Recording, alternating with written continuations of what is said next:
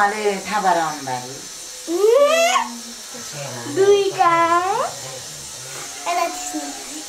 ए आइपुग्ने बेला भएन म एकछिन घर गएर आउँछु म